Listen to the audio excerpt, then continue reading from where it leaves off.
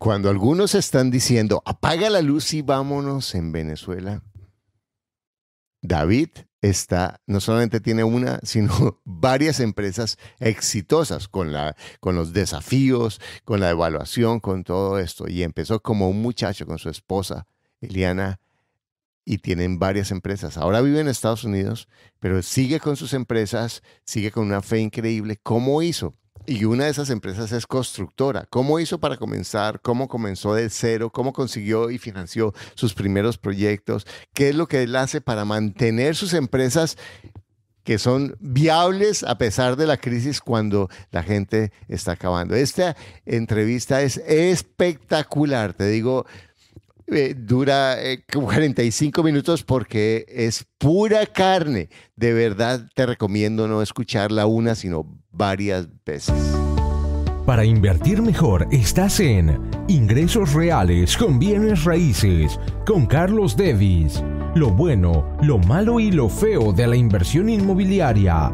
Directamente de quienes lo hacen todos los días. Regístrate gratis en carlosdevis.com y recibe nuestro informe gratuito de 7 verdades que tú crees que no te dejan crecer tu patrimonio. Ahora vamos al punto con Carlos Devis.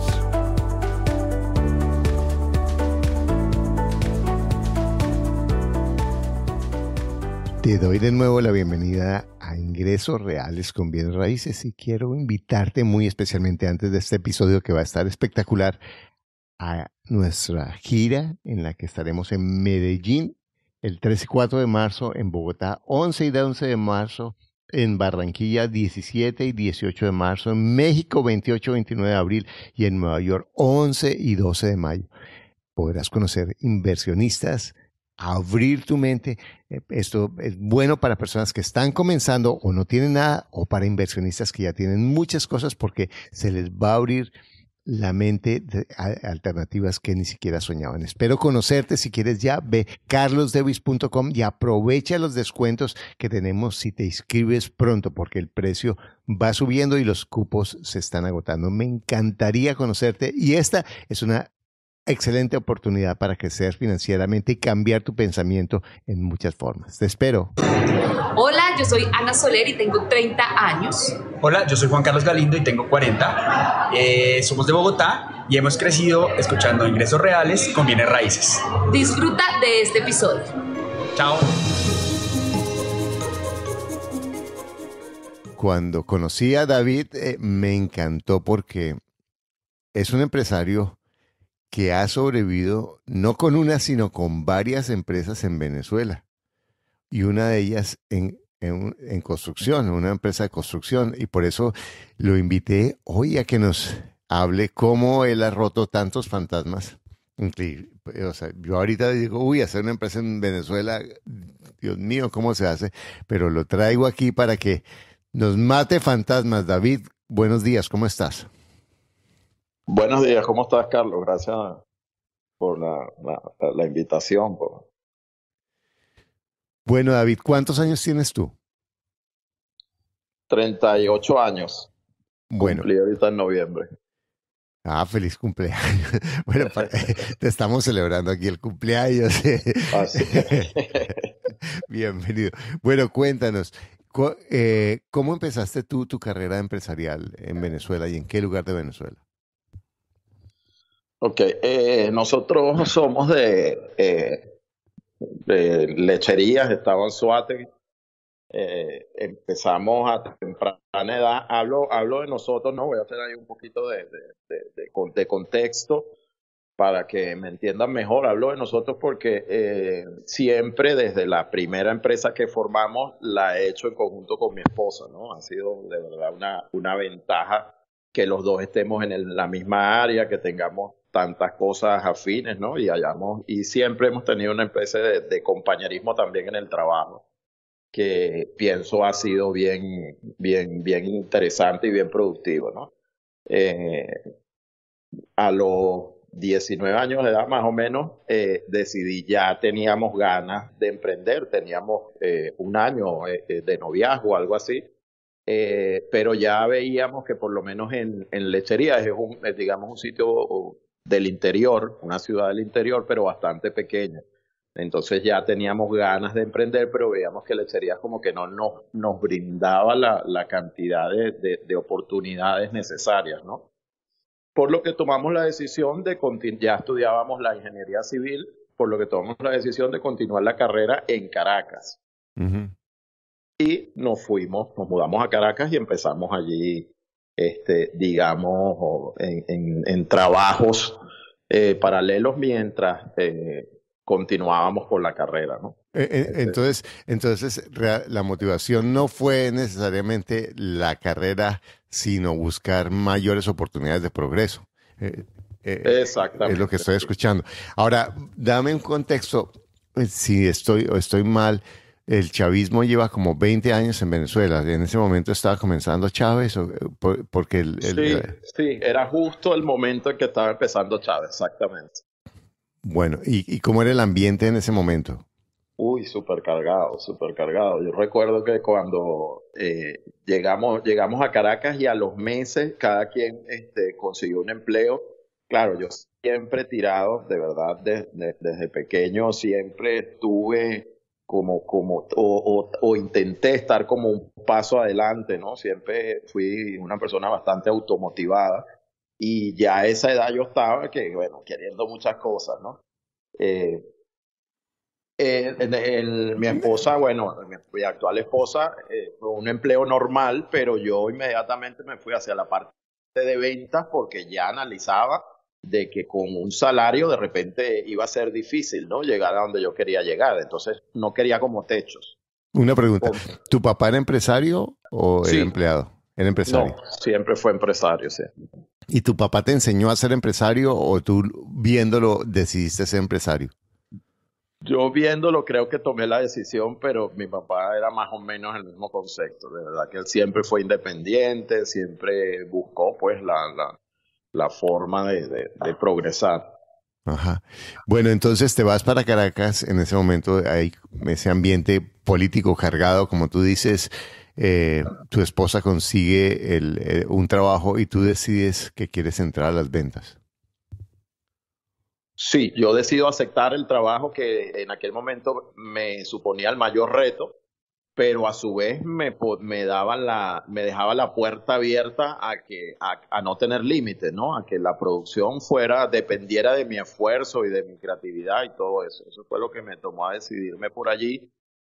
Y mira, excelente, desde el, desde el principio, el primer mes, eh, eh, mi esposa ahora me decía, oye, pero es que es mejor tener algo de seguro, no sé qué. Yo, bueno, le, le, hablaba de todo esto y cuando vio la diferencia entre lo que logré generar yo y lo que generaba ella con algo fijo, bueno, el resumen es que en unos pocos meses ya ya estaba conmigo en lo mismo, ¿no? ¿Y qué hacías este, específicamente? ¿Vendías qué? ¿Cómo? ¿Qué vendías? Allí vendíamos, allí comenzamos con el tema porque vendíamos viviendas. Eh, esto Eran planes de, de, viviendas que se, se vendían en plano entonces, en aquel entonces en Venezuela también había mucha incertidumbre por eso, entonces la gente le gustaba comprar casas ya construidas, no había como mucha credibilidad, entonces tenías que, éramos un equipo de venta como de 40, 50 personas y teníamos que, la verdad, hacer un, trabajo arduo, pues llevar a las personas hasta los terrenos, eh, mostrarles, hablarles de todos los, los, los beneficios que iba a tener esa zona futuro, ¿no?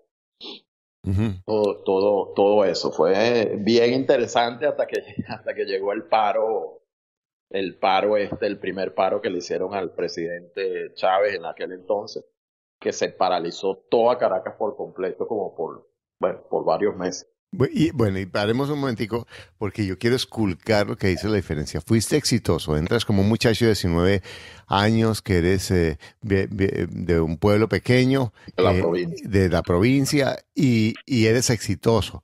¿Qué te hacía exitoso sobre las 50 personas? Mm, sencillamente creo que pensar diferente.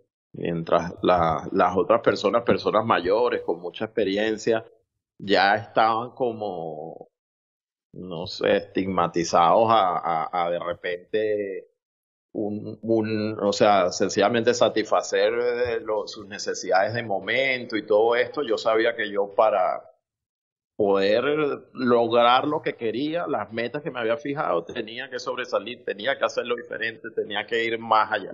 ¿Y qué hacías para ser diferente? ¿Qué hacías para ser más allá? ¿Qué era lo que tú hacías concretamente que, que te generaba esa diferencia? A diario este, le, leía, eh, eh, trataba de aprender de todas partes, de, donde podía, me trataba de pasármela con gente que, que veía que, tan, que era exitosa, aunque la mayoría eran mayores, porque la verdad es que yo siempre era como el más joven del grupo, pero bueno, me, eh, tenía mucha, me, me, identificaba con esas personas que yo veía que eran las que más tenían éxito y aprendía de ellas lo mejor. Al igual leía, eh, buscaba, hacía, pensaba qué podía hacer cada día para ser mejor. Eh, y, estaba en ese momento el ambiente político era, me imagino, de mucha desesperanza, confusión. Fuerte, sí. entonces, ¿qué hacías tú cuando la gente te decía, mira, pero es que esto se va a ir a, la porra y no sé cuál, y para qué te metes? ¿Cuáles eran tus pensamientos? Porque yo, yo veo personas que, que, ah, sí, quieren lograr, pero en últimas oyen todos esos ruidos de, no, el, el ambiente político, el mundo se va a acabar mañana, esto está muy acabado, la competencia. ¿Tú qué hacías para para enfocarte en lo que tú querías? ¿Cuál era el pensamiento para enfocarte en no escuchar esas voces? Sí, yo de verdad que en aquel entonces era un muchacho cargado de sueños y, y, solo estaba concentrado en mis metas, solo estaba concentrado en mi, en mi, más que en mi meta, en el próximo objetivo. Yo creo que de eso se trata. Creo que a veces nos ahogamos mucho eh, eh, buscando como, o sea, pensando en la última llegada, en, el, en, la última meta, cuando lo que tenemos que hacer para llegar a la última meta es ir paso por paso, o sea, dar el paso que nos corresponde dar hoy. Yo lo que me concentraba era sencillamente en el mes, las metas que tenía que cumplir, de la producción que yo necesitaba y los objetivos que, a donde necesitaba llegar para sobresalir, para subir, para ir escalando, para mejorar mis ingresos, para todo eso.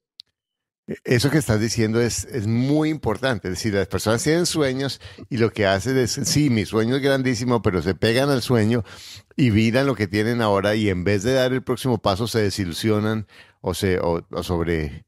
Eh, valoran las, las dificultades en vez de enfocarse con pasión con determinación en ese próximo paso. Eh, Esa palabra es importante, la pasión también. Tú tienes que apasionarte con, con lo que hace cualquier cosa que sea.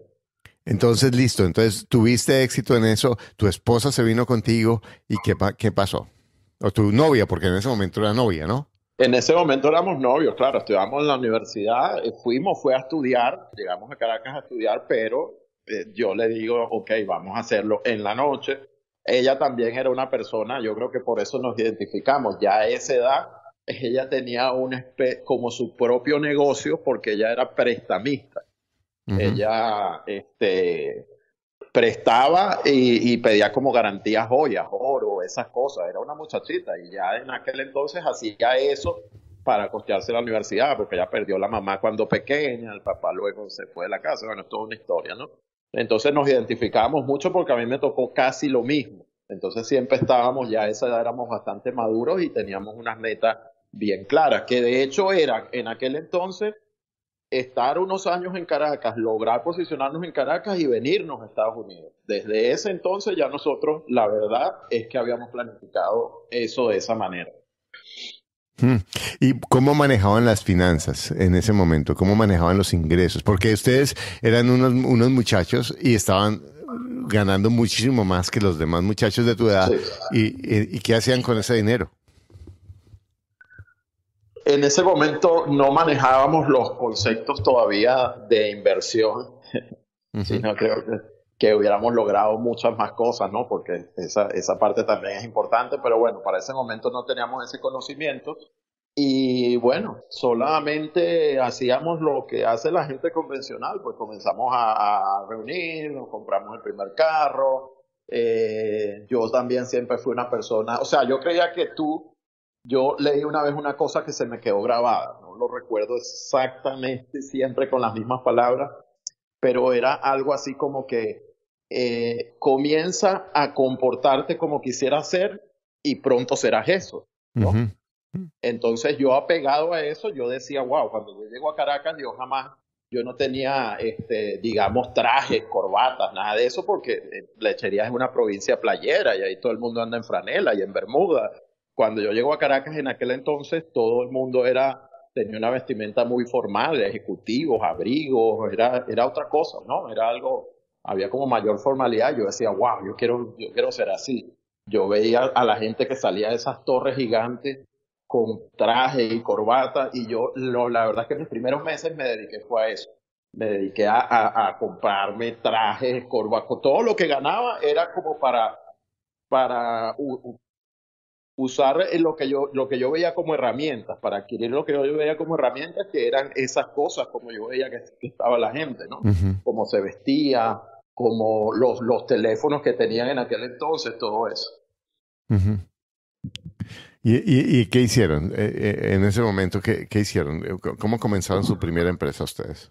Ok, en ese momento, como era, comenzó, comenzaron las ejecuciones de, los, de, la, de las obras, de las casas. Y allí yo, o sea, empecé a ver lo que es el, el, el trabajo como tal de la construcción, ¿no? Que creo que te dije en una ocasión que esa yo eh, eh, es mi verdadera pasión, ¿no? Por eso me quedé en esa área, por eso ejercí y por eso sigo enfocado en esa área, ¿no? Cuando yo empiezo a ver todo este desarrollo, que eran desarrollos habitacionales grandes, como lo que yo había hablado, o sea, lo que yo había vendido, que no era más que un plano y, y mucho, mucho monte, mucha maleza, mucho, mucho bosque, o sea, el terreno, digamos, virgen, y después ver cómo se iba desarrollando, cómo lo deforestaban, cómo lo preparaban para la construcción, cómo urbanizaban, cómo iban construyendo. Esto de verdad que me, a mí me, me cautivó, pues. Y desde ese entonces digo, oye, esa es mi meta de verdad. Eso es lo que yo quiero. Yo quiero tener una constructora, quiero crear esto, quiero construir, quiero ejecutar grandes proyectos. Y, y entonces, ¿y qué haces para eso? Ok, allí eh, seguíamos estudiando, pero yo no, no quería esperar, digamos, a, graduarme para, para ya tener nuestras propias cosas. Entonces comienzo a averiguar y por todo el, digamos, el, el éxito que tuvimos por el desempeño de nosotros dos dentro de la empresa, llegó un momento en que llegamos a hacer, eh, llevamos a, tener como todo el liderato sobre el, equipo de trabajo y esto nos llevó a tener la oportunidad de conocer al dueño de, la compañía, que era una compañía muy grande en aquel entonces, ¿no? Esta persona, yo me acerco a ella, como te dije, siempre yo identificándome con las personas que realmente tenían triunfo y le pido asesoría, le hablo, le cuento, ya esta persona empieza a ver mi energía, me empieza a ver que yo estoy enfocado en algo diferente que el, resto del grupo. Y la verdad es que me, me, me, me dio mucho, mucha información, mucho conocimiento de, de las cosas que yo debería hacer si quería tener eso. Yo sencillamente hice mi plan. Dije, ok, una constructora requiere eh, necesito la compañía, necesito los permisos, necesito lo que serían como especies de licencias, que en Venezuela no son licencias, pero bueno, para, por, darle un nombre. Eh, y eso, y comenzamos. Y hmm. comenzamos y, hay, hay, algo que, que, que tú eh, hiciste que es, yo cuando, cuando un pobre ve a un rico, piensa, ¿cómo puedo beneficiarme de la plata de este rico? Cuando un empresario ve a un rico, piensa, ¿cómo puedo beneficiarme de la información de este rico? Esa es la clave. Exacto, porque la plata es, mirar la limosna. ese es el pensamiento de mendigo. El pensamiento de empresario es, eh, lo que más vale no es lo que él tenga, es cómo yo puedo tener esa mina. Eh, dice Napoleón Gil, la mina más grande del mundo la tienes entre las dos orejas. Sí, sí, sí, claro, es así. Es que y el, el, dinero que ya han hecho las personas o las posesiones o lo que tenga son de ellos. pero la información, la información es lo que ellos llegaron a donde están por eso, por la información.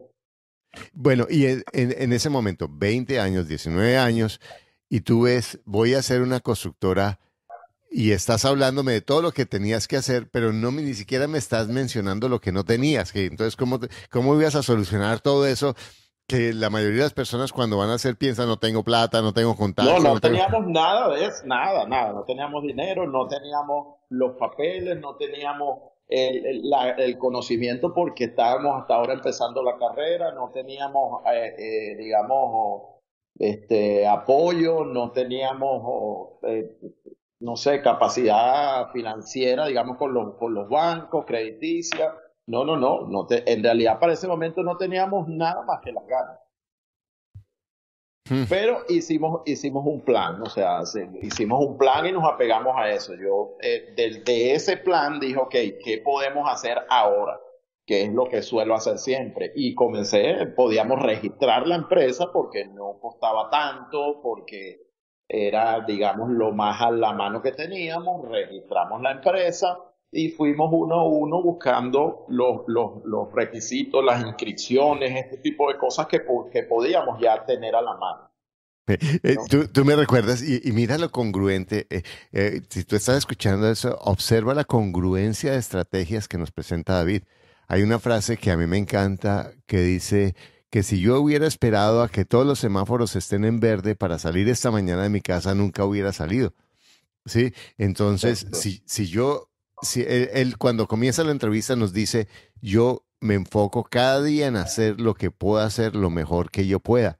Y ahorita nos está diciendo desde su historia que no tenía el dinero, pero yo puedo registrar la empresa, no me cuesta. Yo puedo sacar ese papel, no me cuesta. Yo puedo avanzar en esto. Y eso es lo que va creando es un momentum. Y además, cada, cada puerta que tú, que tú abres te da dos más, que a lo mejor son problemas inicialmente, pero ya vas a encontrar un paso de cómo abrir la siguiente, ¿de acuerdo? Sí, es como dar un paso más hacia la meta, así lo veo yo, y eso, y eso me parece que es la, lo que hace la diferencia.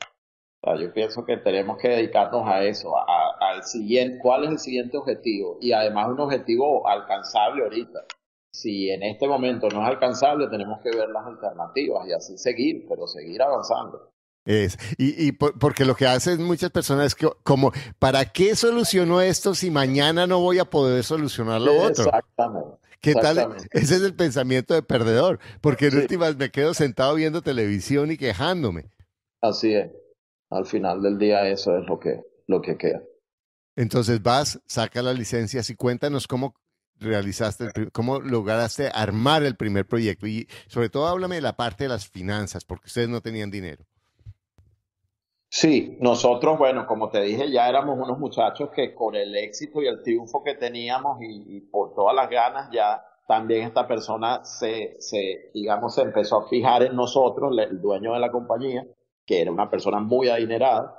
Y, y bueno, nosotros seguimos reuniendo. Yo me recuerdo que llegó un diciembre que él llegó, porque él estaba entre Estados Unidos allá, llegó y dijo, ok, vamos a poner unas metas acá este, para las personas que más logren ventas, más logren cerrar negocios, más logren no sé qué, pero no quiero hacerlo yo solo, quiero hacerlo en conjunto con ustedes. Y me recuerdo que en esa reunión ya dije, nada, este es mi momento. Y puse las metas más inalcanzables posibles, pero este, que fueran a traer también un beneficio, o sea, no inalcanzable, perdón, o sea, puse unas metas ambiciosas, altas, altas, pero que yo sabía que si me comprometía con trabajo y sacrificio y, y, en conjunto con, con, quien era mi actual esposa, íbamos a poder lograrla, pero a su vez también le exigí, o sea, fue una estrategia que yo me creé, a su vez también le exigí a él que nos diera eh, un, un, ingreso fuerte, un premio eh, eh, importante, interesante para que motivara el equipo. Y así él lo hizo, me dice, oye, me parece que, está, que lo que estás poniendo está fuerte, de verdad pero mira, la meta también es fuerte, entonces, va, estoy de acuerdo. Bueno, el resumen es que terminamos nosotros ganándonos todo, porque mientras yo ya estaba creando ahí mi plan y, de, eh, eh, o sea, sacando números, por decirlo de alguna manera, y viendo lo que iba a lograr si llegaba a la meta, creo que los demás se enfocaron en que era una meta muy, muy alta y que era imposible de lograr. Porque nadie logró, era, me acuerdo claro, como si fuera ayer, que era una pizarra como de 10, 10 premios y los 10 premios nos los llevamos entre mi, mi actual esposa y yo, completico. Bueno, vamos a dejar de hablar de mi actual esposa. Di el nombre, Liana, porque ella eh, es la socia que, con quien has construido eso. Sí, sí, eh, bueno, pero, pero mira, eh, si los demás ven el tablero y en vez de decir qué es lo que yo puedo hacer hoy con pasión, con compromiso, con determinación, dice, ¿qué es lo que, por qué yo no lo puedo hacer? Eso es lo que me parece a mí, sí. Me parece que de principio dijeron, wow, pero tengo que llegar a tantas negociaciones, porque si no, no se explica que de 10 negociaciones salimos ese día, teníamos el mismo tiempo, teníamos las mismas condiciones, ellos más inclusive, porque nosotros la verdad es que éramos unos muchachos, ¿no? Y en esa época era como que la credibilidad era era para nosotros más fuerte lograr credibilidad en nuestros clientes porque éramos unos muchachitos. unos jóvenes, exacto. Y junto, e, imagínate, en una época de tanta incertidumbre y unos muchachos de 20 años vendiendo una casa impresionante. Y cómo, vendiendo un plano, vendiendo. ah, ni siquiera una casa, un, papel, un cuento. mira, allá donde está corriendo ese tigre, ahí vamos a hacer una casa. así mismo, así mismo era, así mismo era. Genial. ¿Y, tú, desde que hiciste el plan, sabías que te ibas a ganar esos premios? Bueno, algo dentro de mí decía que yo podía y, para, y pensaba que eso era suficiente, pues. Genial. E, exacto. No, no estabas, no, mira, mira lo genial. No te diste la certeza porque la certeza también hace que te duermas. Dice, yo puedo. Sí, no, era, era una meta, de verdad me recuerdo que eran metas que había que esforzarse. O sea, era, era fuerte, pero yo decía, sí podemos, si nos concentramos, sí podemos. Y hice mi plan. Día a día, teníamos, qué sé yo, tres semanas para llegar allí y día a día hice mi plan y me apegué a eso. O hicimos nuestro plan y me, y me apegué a eso. En el camino tuvimos que hacer una cosa cambiar aquí, modificar allá, pero al final del día lo logramos y eso fue, digamos, porque ahí buscábamos dos cosas. La primera que el ingreso iba a ser importante y lo necesitábamos para poder invertir y seguir avanzando en nuestro plan de empresario, que ya estábamos iniciando, pero también yo necesitaba lograr la credibilidad con el dueño de la compañía, porque yo sabía que él era mi apalancamiento. Eh, no, pero qué impresionante, David. Era eh, porque en últimas el dinero, y eh, tú que has escuchado mis podcasts varias veces, quizás me has oído decir esto, el la credibilidad es mucho más importante que el dinero. Sí, sí, es así. ¿De acuerdo? Sí, es una herramienta potente, es, una, es algo necesario además, es algo en lo que todos debemos trabajar y construir. Listo, logras esos resultados, logras esos premios y cuéntanos cómo comienzas tu primer, proyecto, cómo lo financias. Ok, acá eh, llega como una segunda etapa porque yo también veo que empiezan a cambiar las cosas dentro de la empresa, las estructuraciones.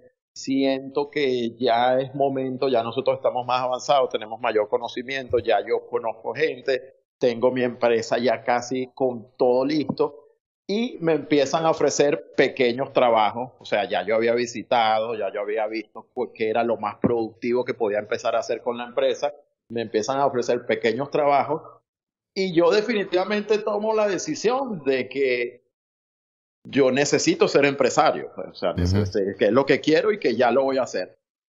Eh, me voy, digamos, de la empresa, la, esta persona no estaba en Caracas en ese momento, y comienzo a hacer mis, mis, trabajos pequeños, pues, ¿no? Trabajos bien, bien, bien pequeños, cosas como este mantenimiento o con, con, una cuadrilla de, por decir algo, áreas verdes. Era algo diferente, pero para que me entiendan y, no hacerlo largo, mantenimiento de áreas verdes. Entonces empecé, agarré mi, creé mi cuadrilla y comencé, bueno, vamos a hacer. Eh, comencé a hacer mantenimientos menores y todo eso.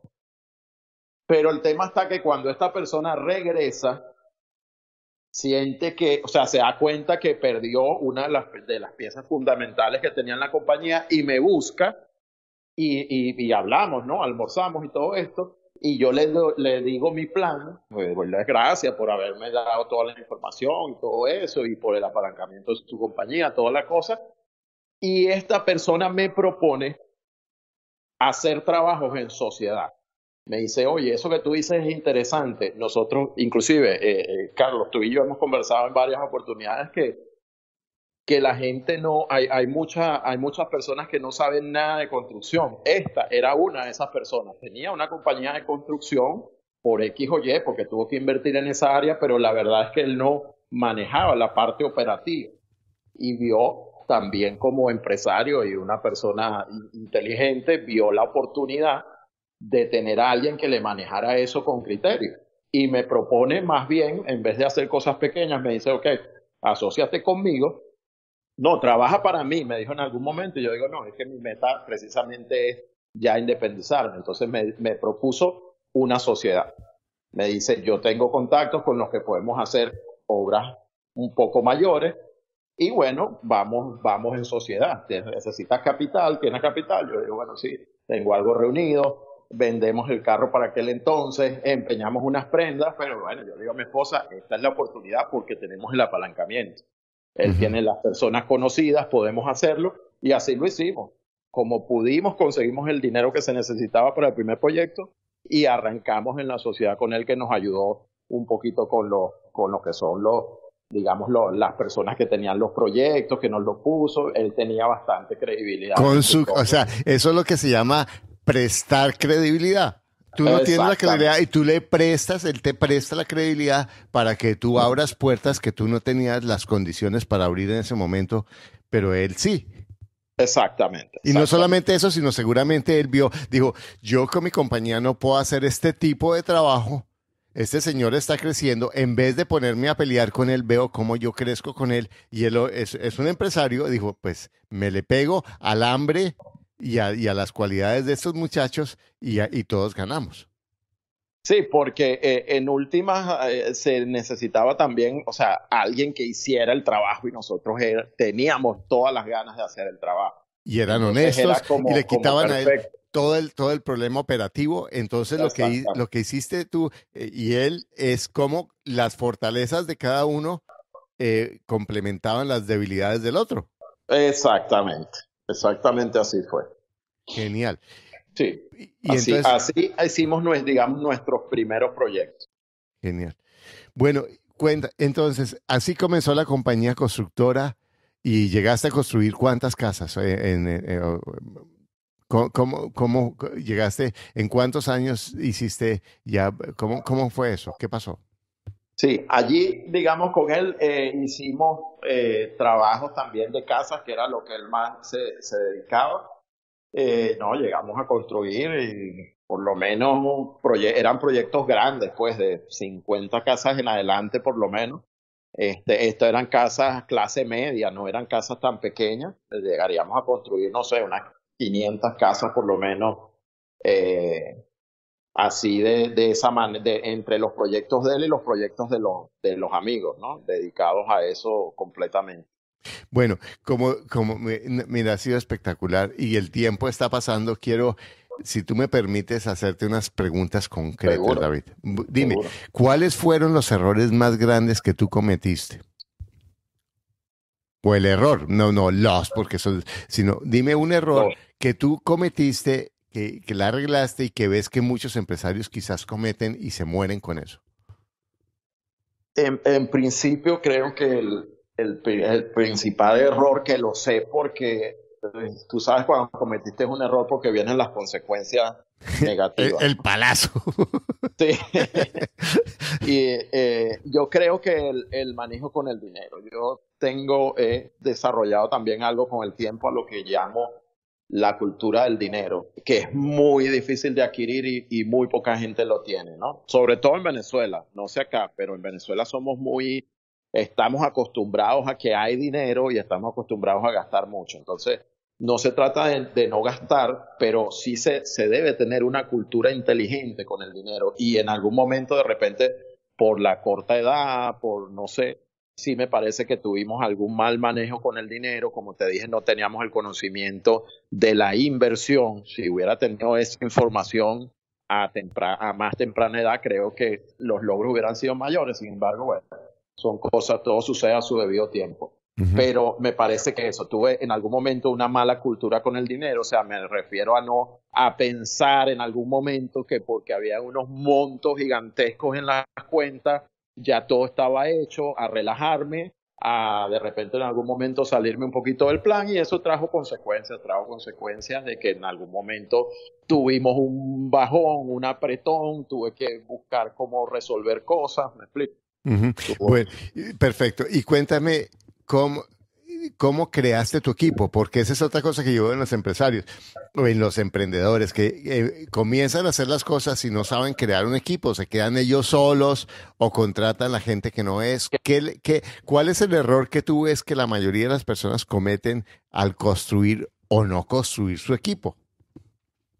Sí, eso, eso es vital también. Yo pienso que otro error grande siempre fue que, o sea, por mucho tiempo me mantuve no queriendo delegar. Y esto al final del día es un error porque tú tienes que aprender a delegar. Claro, no puedes delegar en cualquiera. Entonces ahí donde te debes preguntar, oye, necesito crear un equipo, necesito crear un equipo con estos integrantes para poder delegar a cada uno de ellos estas funciones y que funcionemos y que podamos evolucionar. Eh, bueno, sí, ahí nosotros yo eh, con, cuando comprendo eso, empiezo entonces a, buscar pues eh, personas que más o menos reúnan las condiciones necesarias. Iniciamos un proceso pues de, de, adiestramiento, selección, empiezo a ver dentro de la misma gente que yo conozco, buscando la manera de armar. Pero ¿qué buscabas? ¿Qué, qué, qué es lo que tú buscas? Porque en última la parte técnica muchos la tienen o si no la tienen la pueden aprender, pero ¿qué es lo que tú buscas para un equipo? ¿O qué es lo que tú buscas? Porque en últimas eso es un denominador común. Buena actitud sin duda, alguien que, que realmente quiera aprender y hacer las cosas, que tenga las ganas. Para mí eso es vital.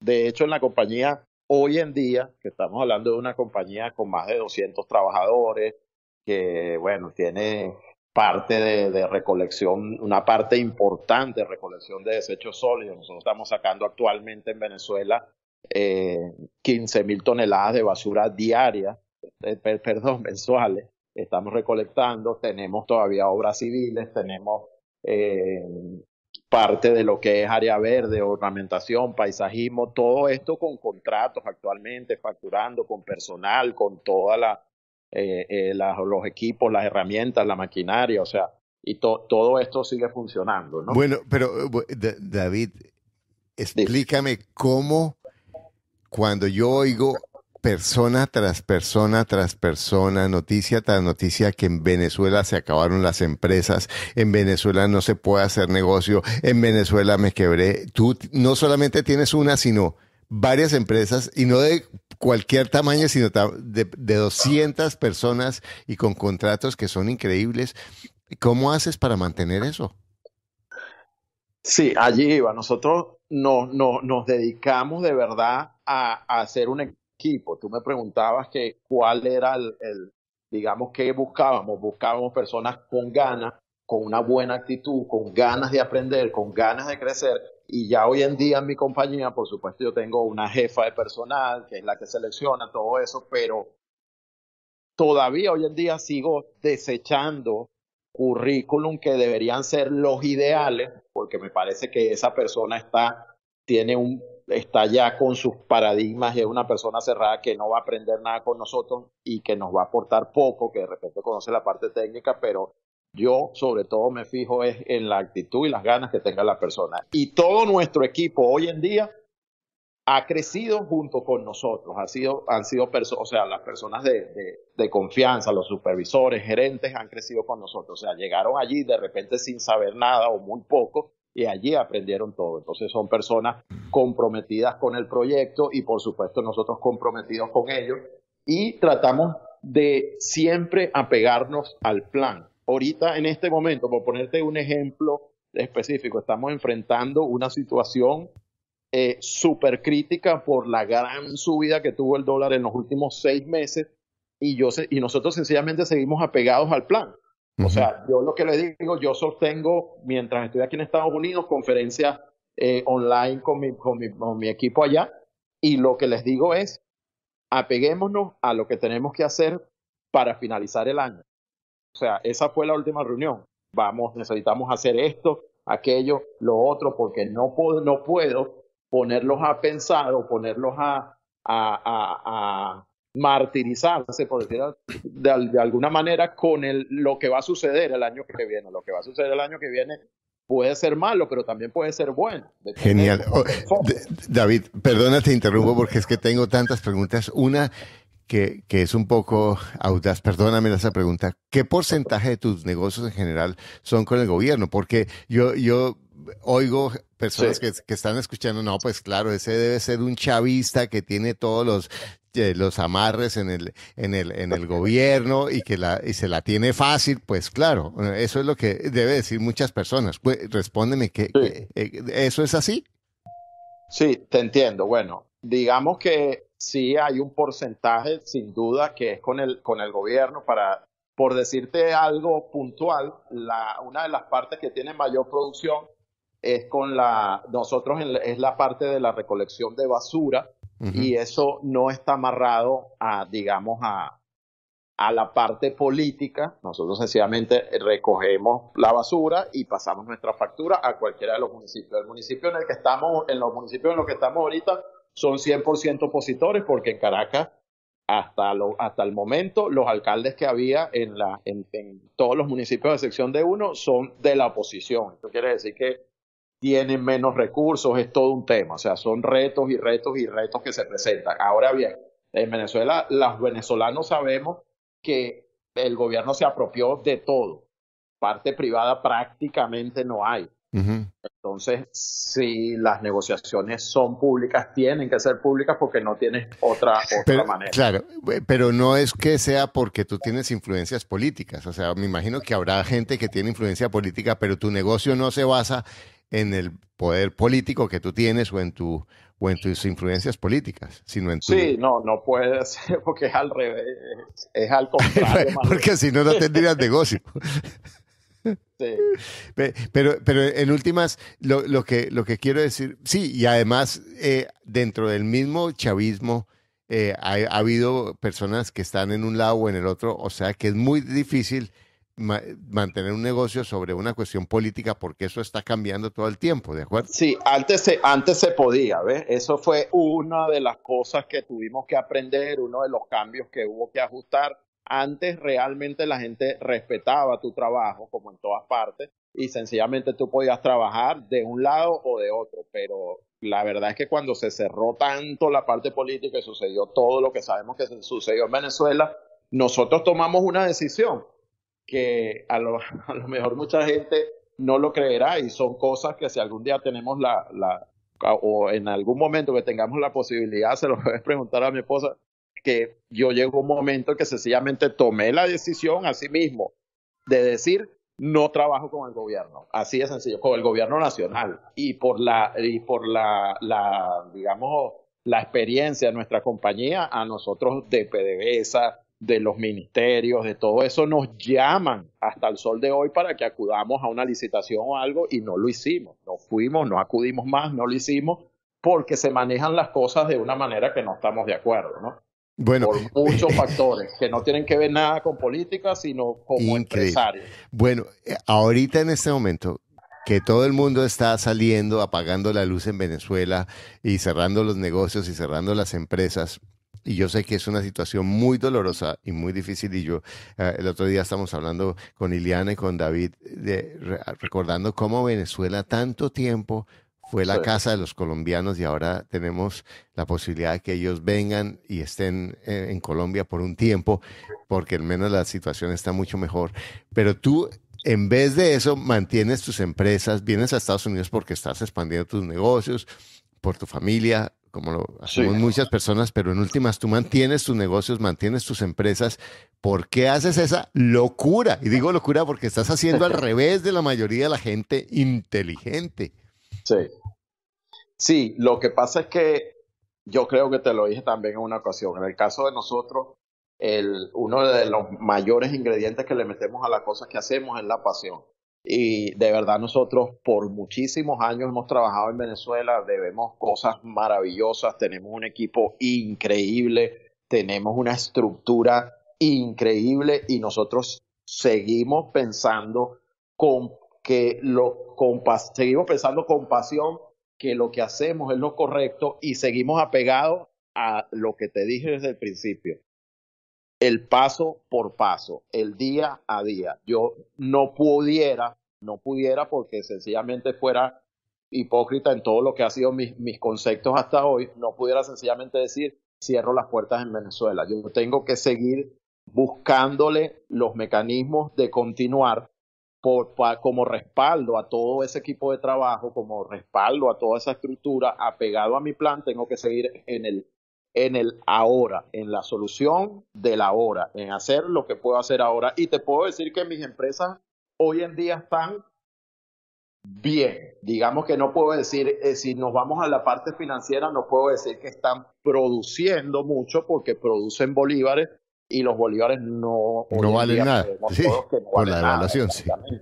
Pero mantienen eh, ese, pero la rentabilidad o sea, para pagar los gastos en Venezuela, para hacer todas las cosas que tienen que hacer en Venezuela y nosotros seguimos día a día buscando y pensando la forma para que eso continúe y con optimismo, sabiendo que el momento más oscuro de la noche es justo antes de amanecer y pensando que mañana en Venezuela tiene que amanecer. Qué hermoso. Y además, mira, tan, tantas cosas maravillosas que encuentro en tus valores, por ejemplo, eso que mencionas de la, de la gratitud, la lealtad con tu equipo en estos momentos oscuros, es maravilloso. Mira, te digo, David, me, me conmueve y podría, yo te digo, si tú estás escuchando esta entrevista, te recomiendo que la escuches muchas veces porque aquí está el DNA de un empresario valores, pasión, congruencia, honestidad, visión de largo plazo,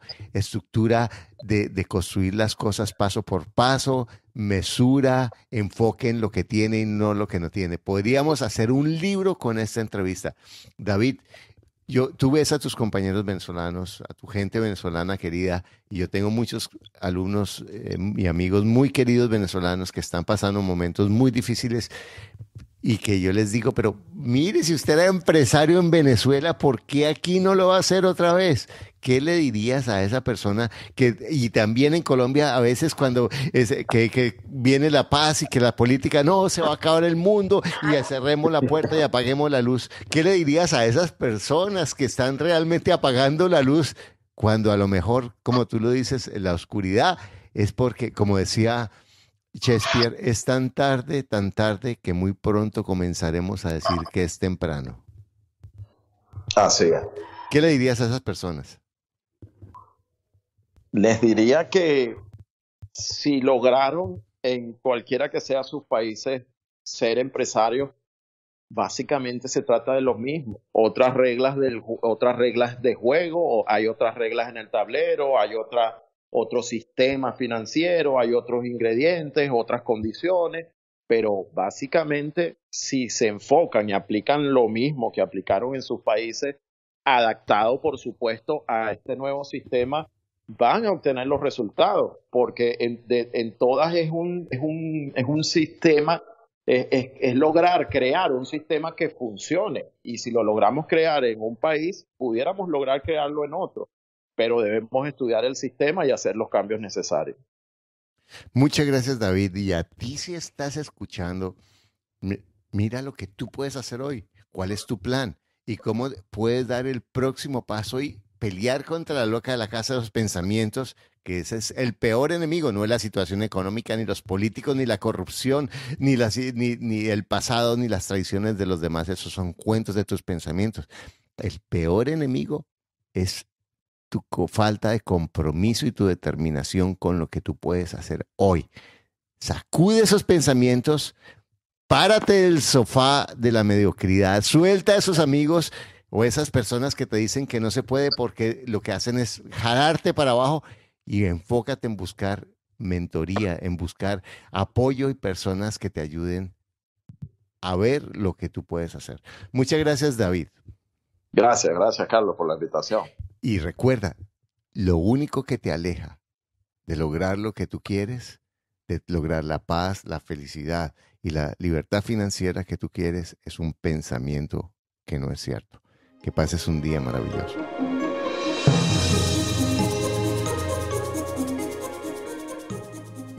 Te doy de nuevo la bienvenida a Ingresos Reales con Bienes Raíces y quiero invitarte muy especialmente antes de este episodio que va a estar espectacular a nuestra gira en la que estaremos en Medellín el 3 y 4 de marzo, en Bogotá 11 y 11 de marzo, en Barranquilla 17 y 18 de marzo, en México 28 y 29 de abril y en Nueva York 11 y 12 de mayo.